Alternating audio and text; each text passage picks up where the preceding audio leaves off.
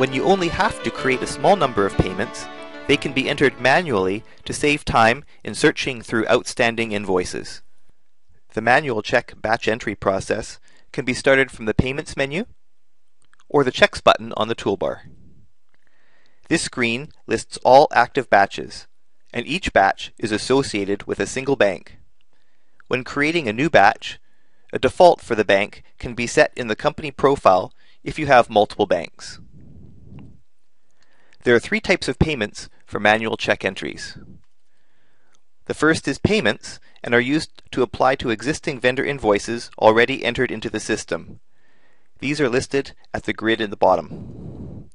To pay an invoice, either fully or partially, edit the invoice detail and enter the payment amount.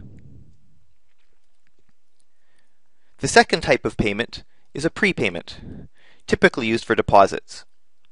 Prepayments have a single detail for the invoice number and the amount.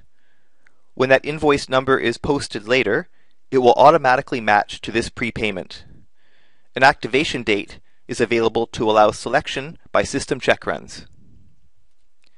The third type is cash invoices, which contains not only the payment but also the invoice.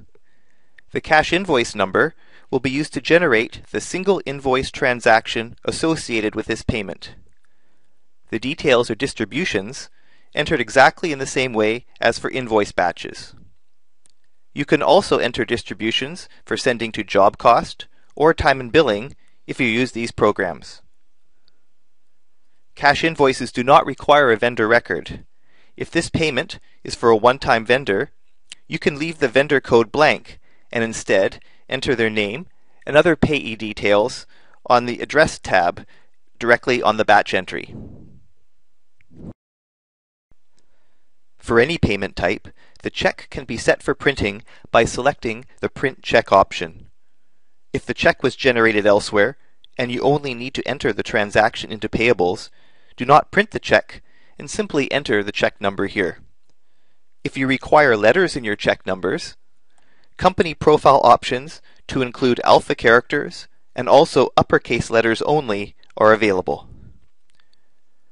For printed checks, the check number will be assigned based on the sequence defined in the bank at the time of printing. The default check specification can also be assigned to the bank. You can print checks for just this entry, for multiple selected entries within a batch, or in an entire batch click the Print button to start the process, printing checks to the specified printer.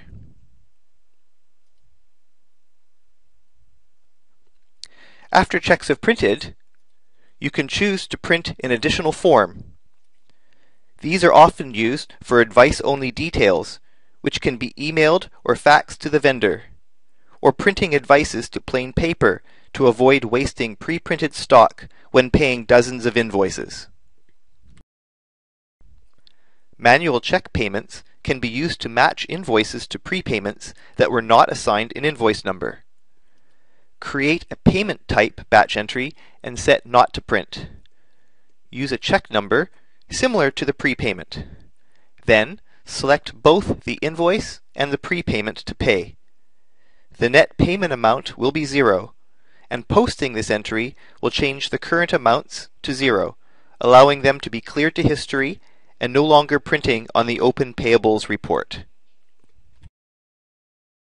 Use manual checks for flexibility in the way you record payments to vendors. For more information about Adagio Accounting, use these on-screen links or from the video description. Thanks for watching.